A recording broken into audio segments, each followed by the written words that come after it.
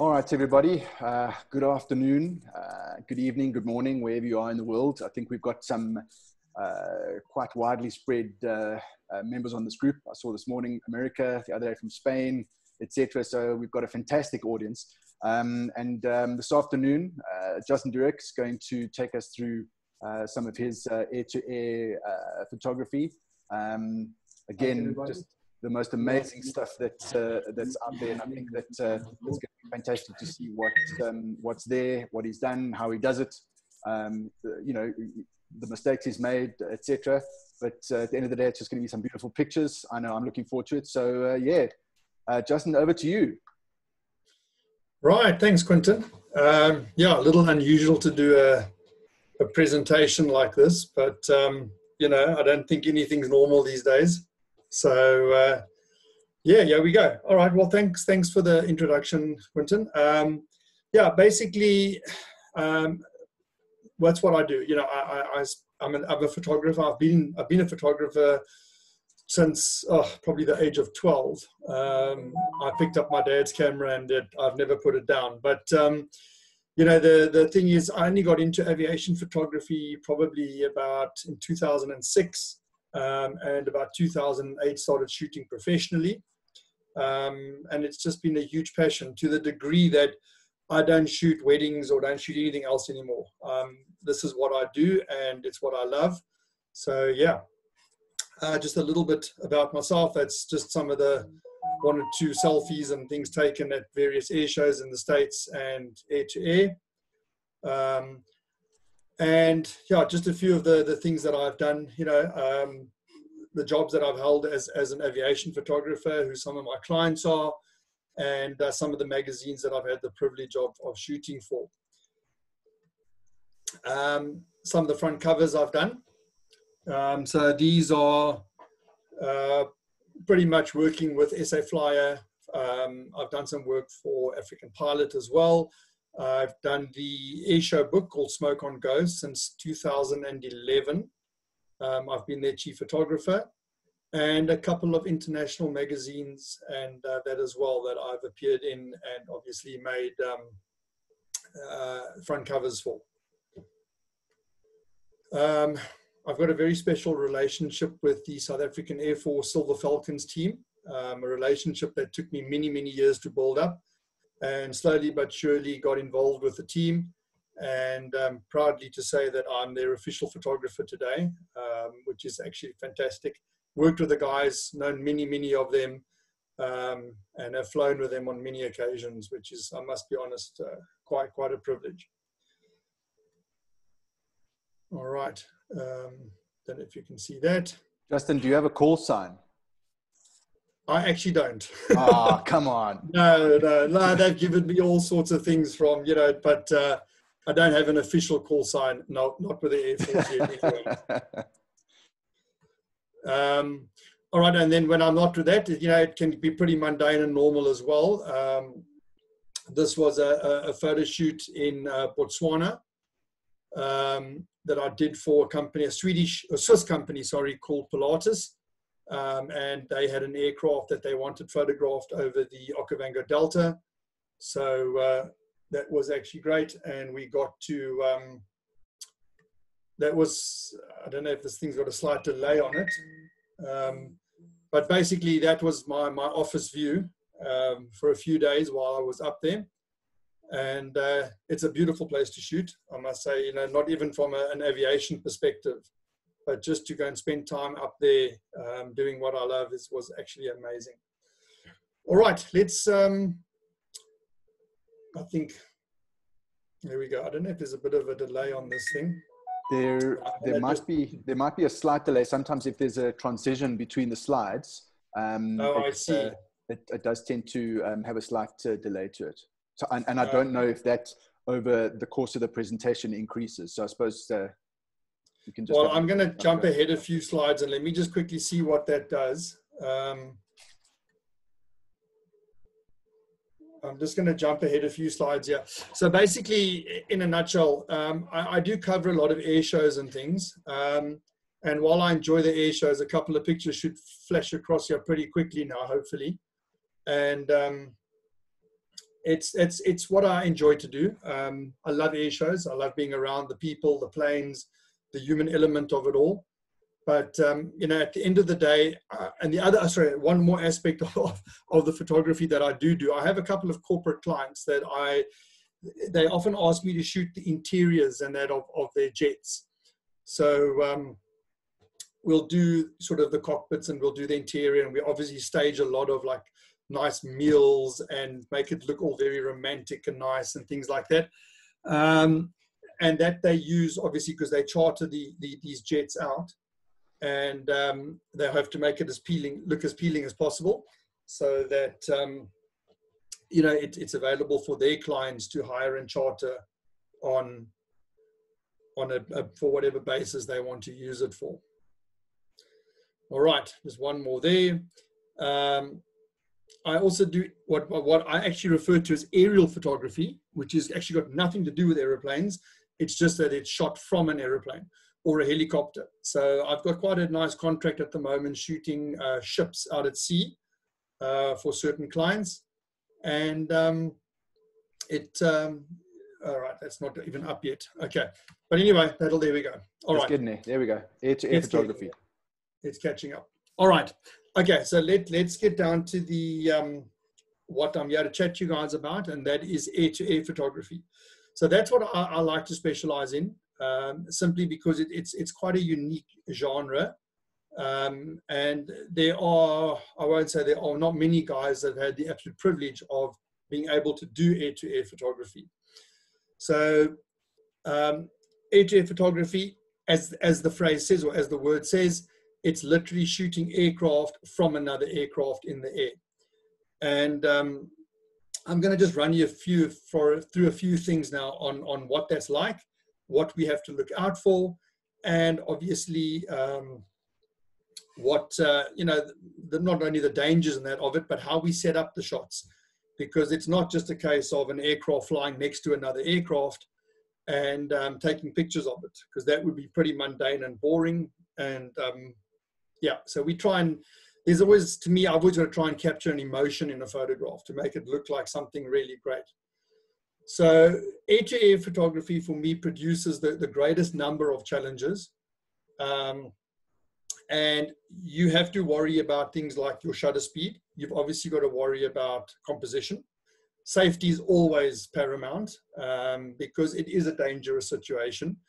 Um, nine out of 10 times you're sitting next to an open door and um, the other thing as well is you've got aircraft flying in very, very tight formation with each other.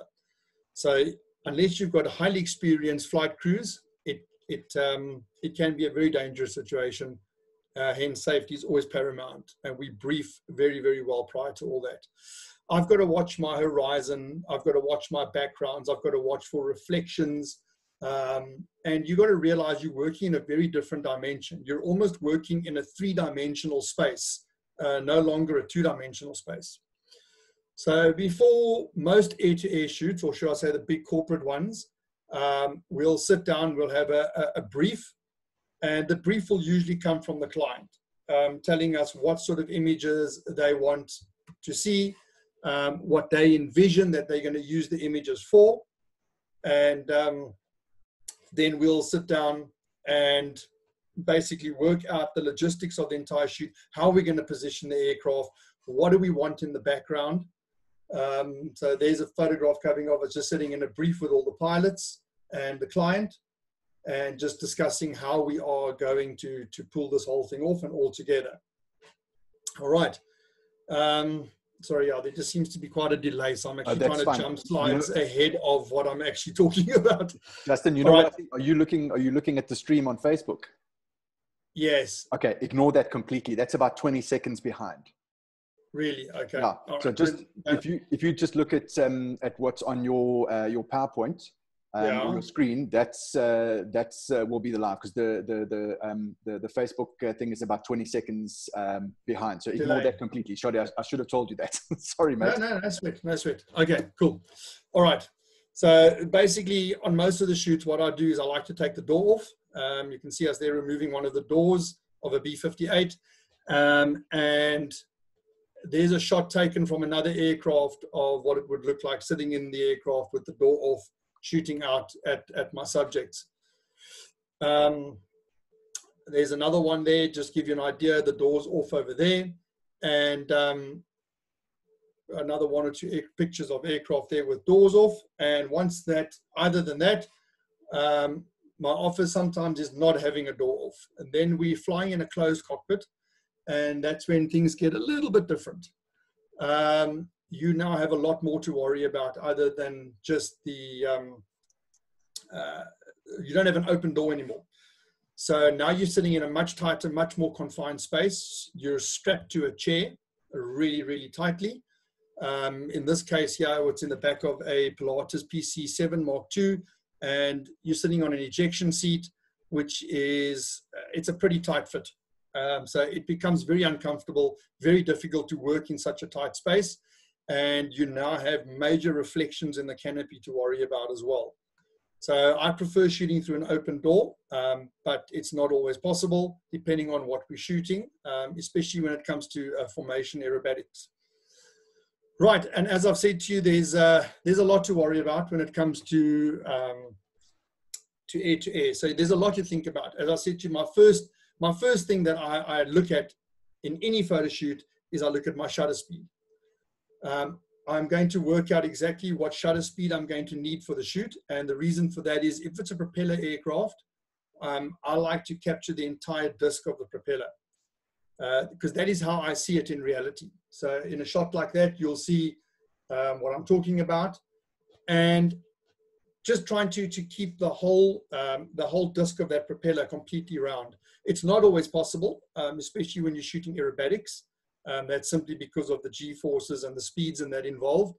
Um, shooting at those slower shutter speeds makes it incredibly, well, not even difficult, it makes it impossible. So I my love, shutter uh, speed, I love this uh, this shot here. I mean, the the uh, it's it's it's almost too perfect. You know, where all those Yeah. uh, the planes are one behind the other behind the other. Uh, Yeah. a, yeah, that's the difficult part actually. Um, No, it really is. It's, it's it's the difficult part is to get them all lined up like that. And that, that requires skill from their side, second to none. So that particular shot, um, those aircraft, their blades spin quite fast. So I can shoot at about 125th of a second there. Um, when you shoot old aircraft like these warbirds, you drop right down to 150th of a second.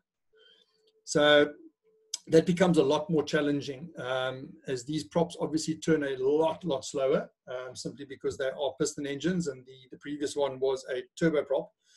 But your props turn a lot slower with these. Um, so shooting warbirds is it's amazing. It's it's fantastic to get them up in the air so close to them, but they are very difficult to shoot um, at a slow shutter speed. All right. Sometimes I will slow the shutter speed down even more than what is necessary. Um, and the reason I do that simply is uh, to create an effect um, of speed.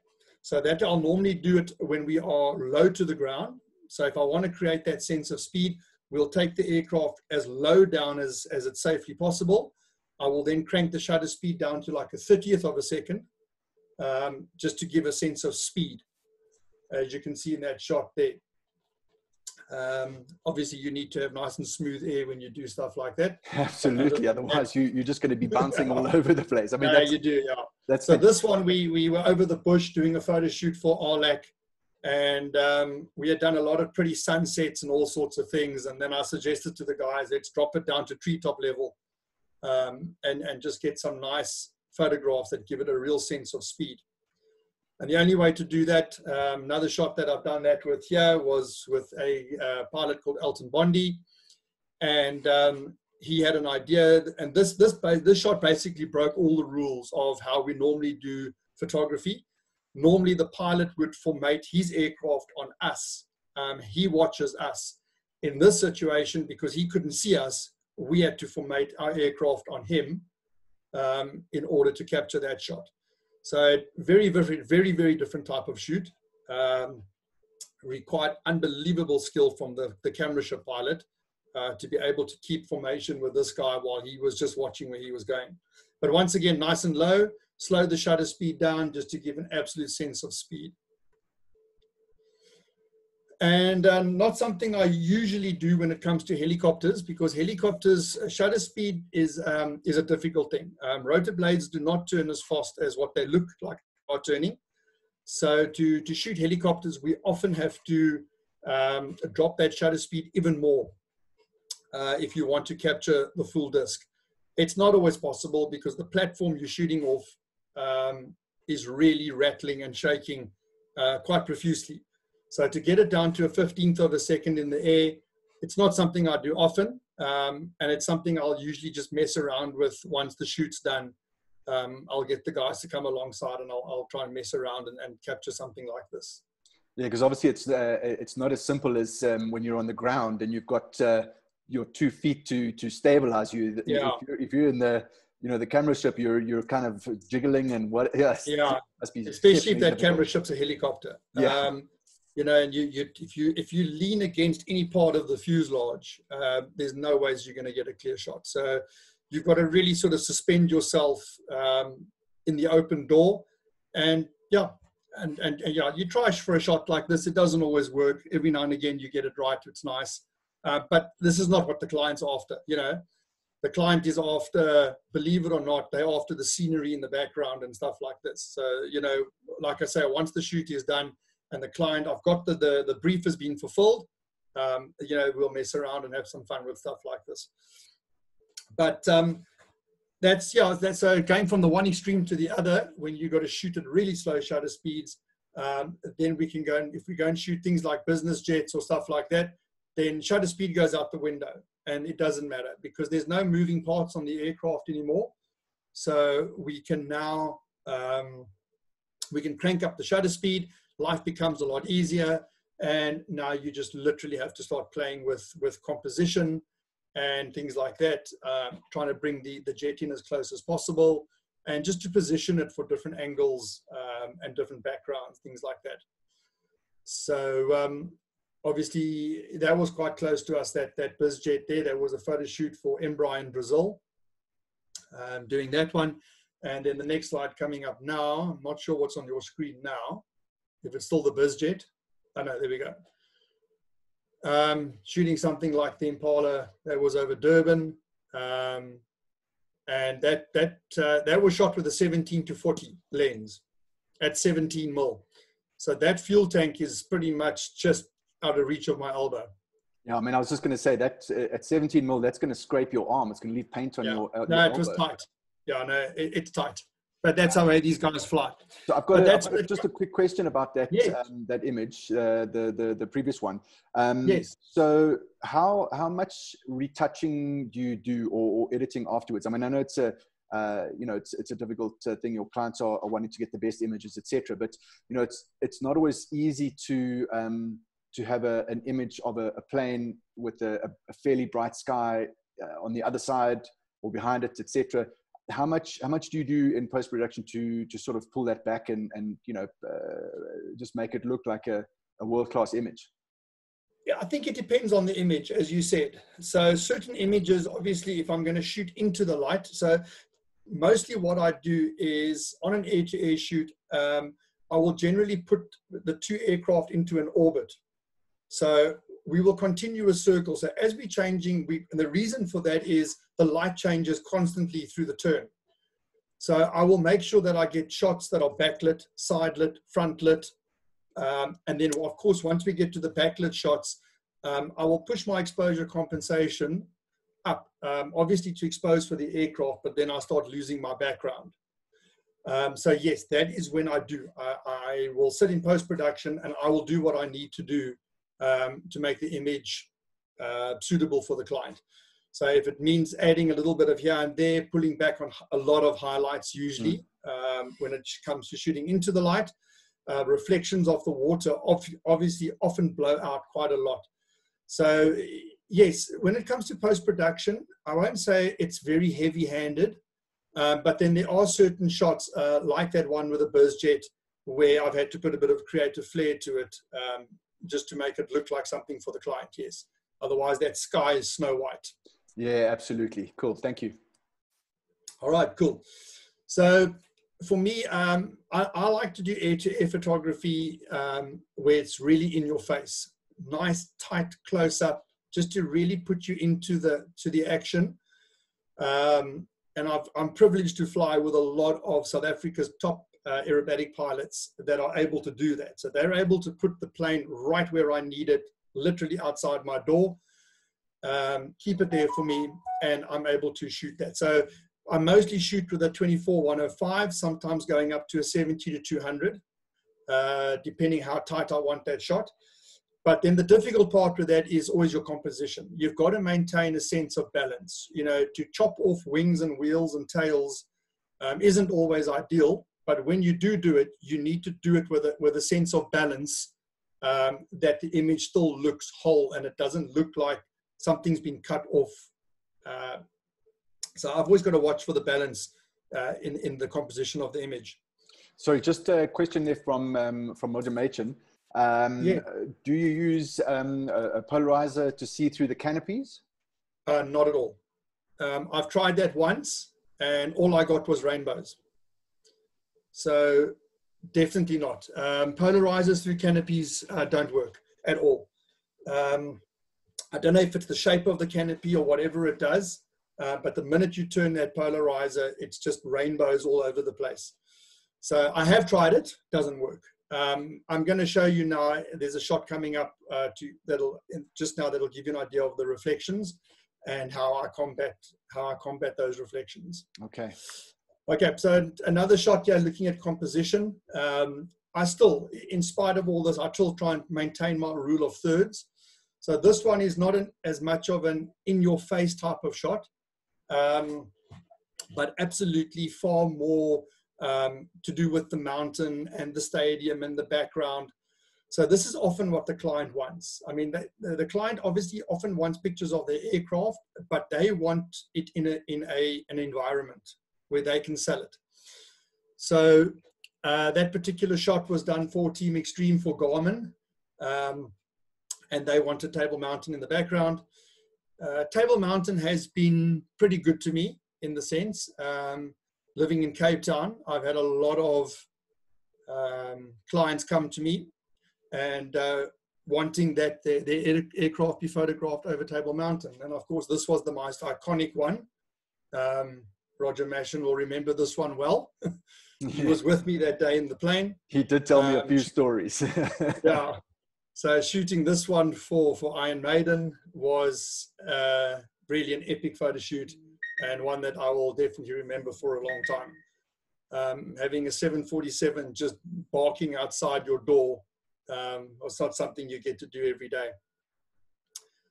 Right, and um, yeah, this this particular shot as well was for Piper Aircraft in the USA. Once again, they also wanted Table Mountain in their photograph, so uh, that's that's obviously just how we do that. Then um, once again, uh, photographs using backgrounds, obviously the composition, um, all depends on the client, what they want in their background. And this particular shot was for Embraer in Brazil. Um, they wanted, we flew all around the coast, just getting different types of photographs for them. But background is important. Um, so obviously when I'm, when I'm shooting, I always have to look at the background. It, it, it's almost more important than the subject, uh, which is um, obviously the aircraft. So for this, we uh, we had to do a photo shoot for the South African Air Force. It was one of their big parades, and as you can see, how bad the background can be. I mean, there are aircraft in that photograph, so it's not great. Um, but obviously, I move them over to a, a part where it's a lot cleaner. So I've always got to watch that background, and it's not always just have about having a clean background or having a cluttered background but a clean background definitely makes a huge difference. Um, it just helps your aircraft to stand out more. Um, and often it puts into context what the client has wanted. So for this particular shot here, this was done for Pilatus. Um, they sent me off to um, Sossusvlei to go and photograph one of their PC-12s. And in their brief, they wanted the red dunes. So that's all they wanted there. And uh, we've circled a couple of these times, got up really early so we could get the nice deep shadows on the dunes. Because uh, shooting this at midday would have just been pointless. So yeah, this was a, a very, very early morning start. Uh, take off literally at sunrise uh, to try and get these over the dunes like that. So your background plays a, a really, really big role. Um, this particular shot as well, um, Menno Parsons in a P51, um, he wanted a shot of the, the, the stadium and uh, just incorporating that in. And then this particular client here, they wanted the bush. This aircraft was built to work in and out of the bush. So naturally, the background formed a huge part of, of that as well. Uh, just another shot of the use of a different type of background. And also uh, slightly slower shutter speed there. Much slower, yes. Much slower. Yeah, you can see that. So yeah, as you can see, you know, the background can really make or break a photograph and it really forms part of the, the, the composition of the photograph. That's Just lovely. using all these. Okay. Nice, plain, simple. This one was for Patrick Davidson for Red Bull. Um, just shooting over the dunes in Cape Town. Uh, just to get that red and blue and yellow to stand out nicely. We had shot over the sea that day as well. But I just found with the blue aircraft, um, the sea wasn't quite working for me the way I wanted it. Um, so we headed out over the dunes and uh, it definitely stood out a lot better. And I suppose that's the thing, you know, you, you, you've, you've made all the plans, uh, everyone knows exactly what's happening, but, um, you know, if during the shoot you realize that uh, it's just not working, you've got to, you got to change it and, and, and make sure that, yeah. uh, that it does work. It's just one of those things. Well, that's it. You know, you know, we, we, we can plan the shoot right down to how many turns we're going to do over which area.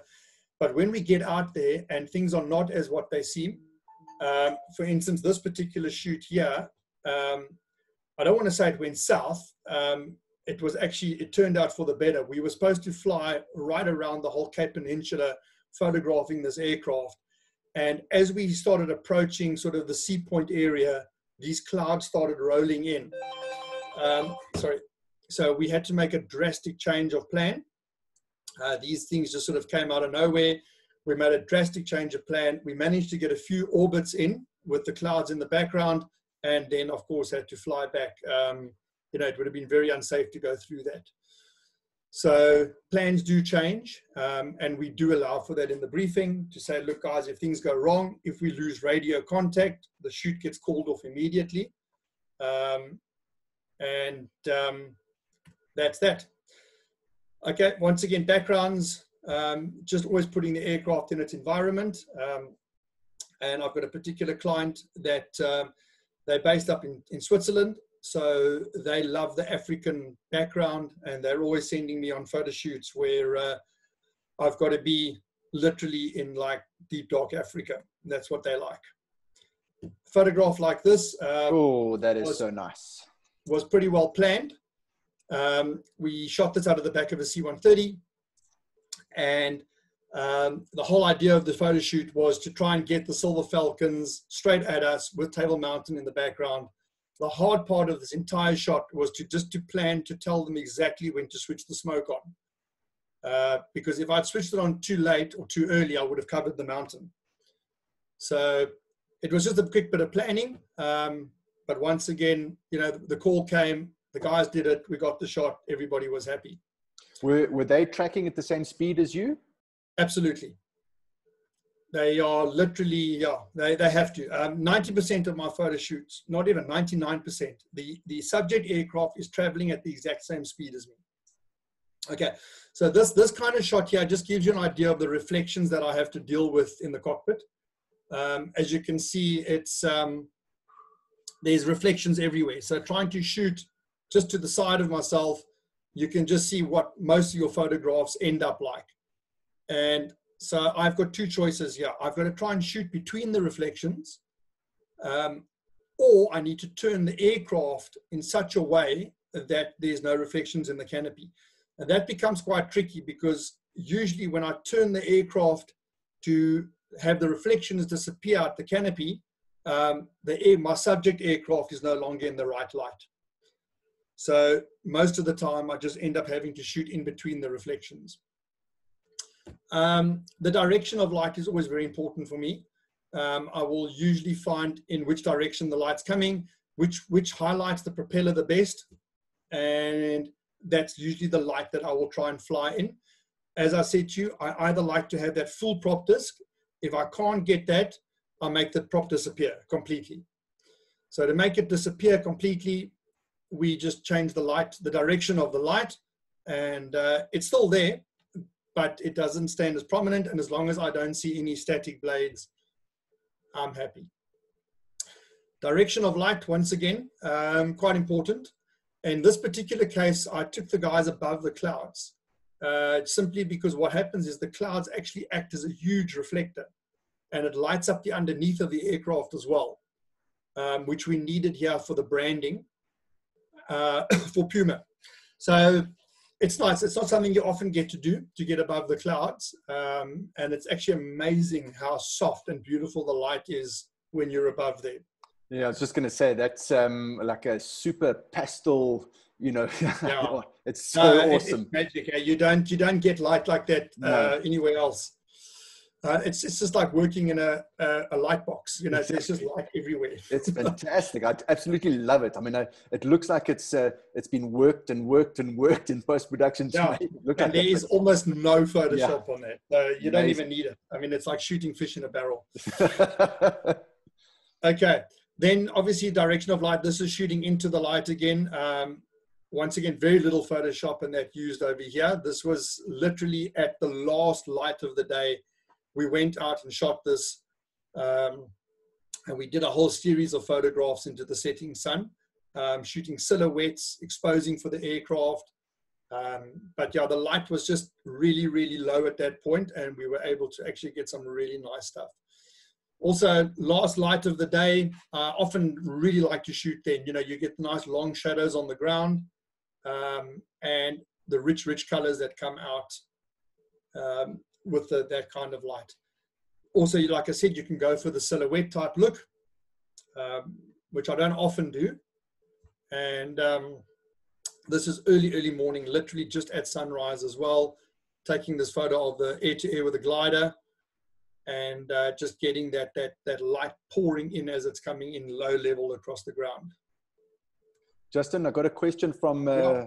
uh, Honor van der Waal, uh, who's, um, who's going to be doing a talk for me uh, very soon, I hope. Um. He wants to know what, uh, what do you use for chase uh, aircraft?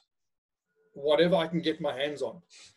So, no, really. Um, look, to be honest with you, um, most of the time for for instance, this particular shot here, we used a, a Cessna Caravan. Um, that's a very expensive camera ship to use, but it was it belonged to the client, so for them it was just uh, fuel. Um, mostly we'll use things like Cessna 182s, uh, Cessna 210s, 206s. So yeah, small single engine, fixed wing. Uh, my favorite aircraft to use is an A36 Bonanza uh, just simply because it's got a really nice big door that can come off and it's got a seat that faces backwards. So I don't have to sit on the hard floor on my bum. I don't have to sit on my knees. I can actually sit in a nice comfortable chair and shoot. And I've got a huge window um, out the back to, to actually to cover. So those aircraft are really nice to shoot out of. Um, I've shot out of Saratogas. I've shot out of Senecas. Um, helicopters, I only like to shoot out of if I'm shooting another helicopter. I don't like to shoot a fixed wing aircraft out of a helicopter. It becomes a very, very difficult thing to do um, simply because the fixed wing pilots don't like to get too close to the helicopter. And also the, the rate of bank angle is never the same with the two aircraft. So it becomes very, very difficult to shoot out of that. I've shot out of um, the PC7s. I've shot out of the back of an L39 jet.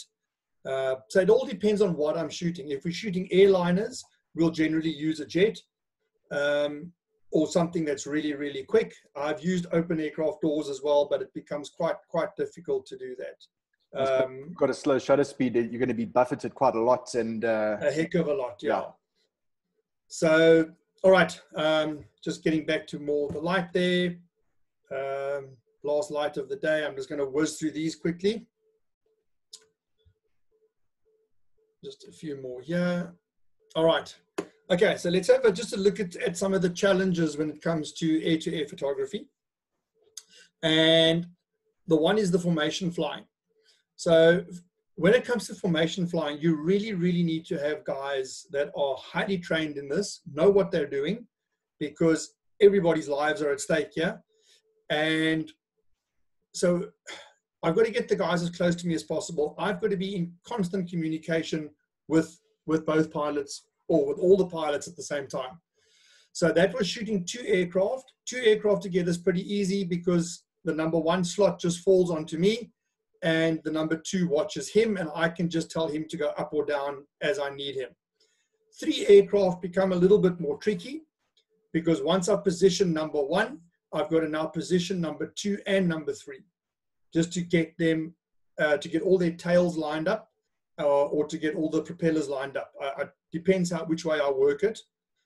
Um, getting four aircraft together becomes a lot more difficult. Um, trying to get so these were these were four different types of aircraft. So the tails weren't working for me at all. So what I did was I lined up all the, the propeller spinners, as you can see. So that's how I've got to work it. So then I will, each one has a call sign, usually just a number, and I will say, right, number three, can you move back about two feet? He'll slide back. Once he's moved back, I can then move number four into place and so on. Five aircraft, once again, becomes a lot more difficult. Um, but when you're working with guys like the Silver Falcons, they make it quite easy. Um, and the biggest one to date has been six aircraft, which was oh. also for the Silver Falcons. That's um, ridiculously um, in line. Yeah, I know that was. Um, even they were blown away by that because even yeah, six aircraft to keep in, in in a line like that, you know, it's it's it's almost impossible. Um, to the degree that there's so much buffeting and that going on between the aircraft that there's no point. Well, there is one point in time where they all line up, but other than that, it's all over the show.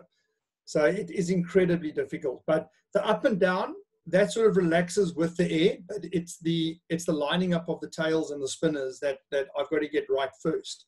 And as soon as I've got that right, we just wait for that right moment when everybody lines up and we get the shot. Um, shooting aerobatics becomes quite a lot more challenging because obviously you now have to deal with G forces. You um, you now your camera now weighs 13 to 15 kilograms, and uh, it becomes a lot more difficult to to try and maintain composition, shutter speed, um, you know, while your eyes are being pulled through the back of your head. So this type of shot here um, would give you an idea. We totally inverted over here, um, trying to get uh, the, the, the Lagoon plus all four aircraft.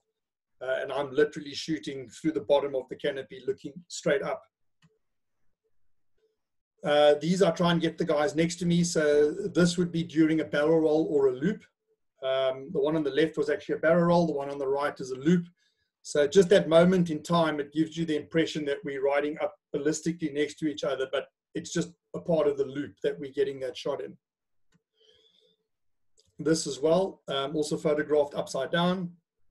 Um, some people look at a photograph like this and, and think, okay, I was sitting in a helicopter and these guys just sort of loop past me uh, to get the photograph. Uh, which not that's not how air to air works. The only way to get that photograph is to actually be in the aircraft and to loop over the top with them, um, shooting it inverted. All right, um, just quickly, what I call the shooting the extraordinary. Um, often I get asked to, to take photographs by the client, which become almost not impossible, but it requires me to think a little bit outside the box. So this particular shoot here um, was for Sky Messaging and they wanted a photograph of their aeroplane pulling the signs that they normally pull, but not only pulling the sign, um, we still had to make a front cover out of this. So the hard part was those were the shots that we were like getting. I got the aeroplane and the sign, And I wasn't happy with that at all. And I said to them, look, this is not working. These are nice, pretty pictures, but this is not front cover material. Um, we need to do something more. And I got him to come sort of a next, sort of closer into the aircraft, uh, just sort of 45 degrees to us. And that was sort of more the angle that I was now getting. I still wasn't quite happy with that because it, it wasn't fitting nicely into a, a front cover. So the only way for me to actually shoot that was to sort of step out of the aircraft slightly, uh, still tethered in, of course, um, and to actually stand on one of those wing struts you see and shoot straight back.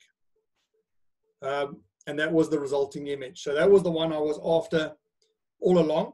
And of course, that was the front cover eventually, which uh, just made a lot more sense to me than uh, an aircraft flying sideways with a banner.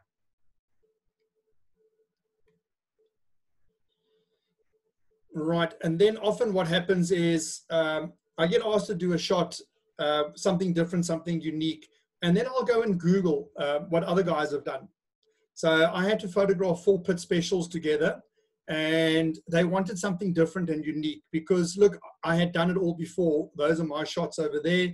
We had shot them in that sort of position time over and time over and time over again. And the client wanted something new and something different and I couldn't find anything online. I couldn't see anything. Whenever I looked it up, this was the the, stand, the stock standard shot.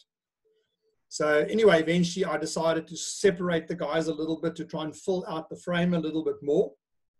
Still wasn't happy. I still had too much negative space in it, and you keep moving them around um, until eventually I, I, I settled on uh, something like this. So oh, I love it. Yeah. So that so eventually you, you know you work. I had to sit there and work out how I was going to fill all the gaps in the sky. Um, moving number two, then moving number three, then telling number four to come this way a little bit.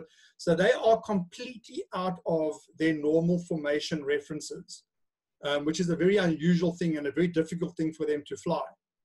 Uh, but it was the only way we could make this work. So since then, obviously, hmm. I've I've just had a few variations on that um, and just tried to to highlight one aircraft and, and make the other three fall into the background. Whoa. Just doing something like that, you know? So nice. Yeah, so that um, that was a particular shot as well that they wanted, um, just filling up that whole frame um, and just not having a standard echelon as they would normally fly just the more I look at that, um, I just think uh, you know the the everything is in exactly the right place. You know the the uh, the plane second uh, you know from us, uh, I suppose vertically um, is is just enough back and uh, man, I love it. Yeah. Absolutely love it. Yeah, this this this shot took quite a while to put together. I think we we we sat in orbit after orbit, um, just repositioning everybody, um, and then of course I didn't want to run out of smoke. So once I had everybody positioned, I would say, okay, smoke on, and everybody would put the smoke on. We'd get a few shots, and I'd shout smoke off, reposition the guys, because uh, obviously we could just keep going like that. And it's happened before that I've run out of smoke, and then we we have a problem. So then also shooting the extraordinary, in the sense of this was one of my dream shots that I've always wanted to do.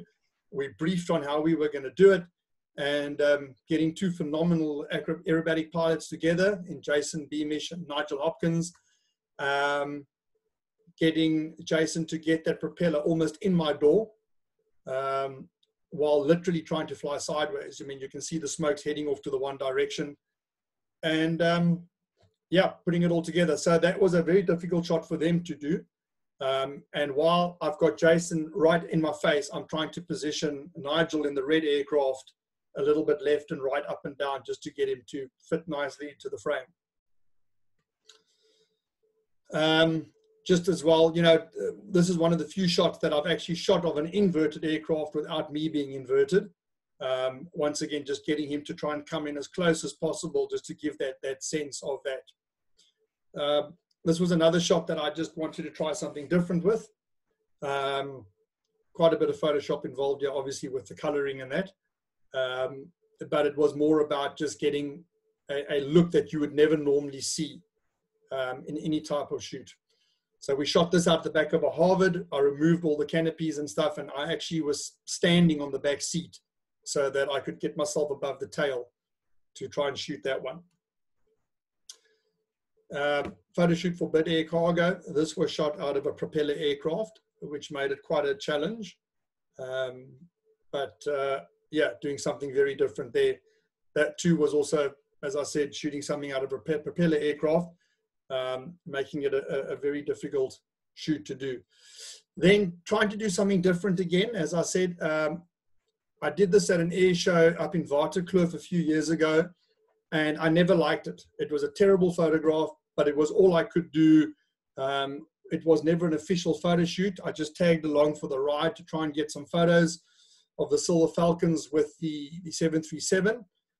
And the background was cluttered. We could never get into a nice, clean background. Everything was just side on. I wasn't happy with it at all. And I vowed that one day I would make the shot work differently if I ever got the opportunity again. So the opportunity did come up at Langebaan about two years ago. And that's me in the back seat of one of the Silver Falcons. You can see the Mango 737 there in the foreground and the Silver Falcons just above me. So we were just sort of chasing the 737 down to uh, formate with it. And I got everybody lined up. And I said, right, now's my opportunity. I've got a nice clean background. We're going to try something. And I positioned the guys into where I wanted them uh, got the smoke on, and then what we had to do for the shot was I actually had to roll over the top of the formation um, and shoot down. So to create that, that sort of awesome. So yeah, we had to literally be upside down to get that photograph, like that.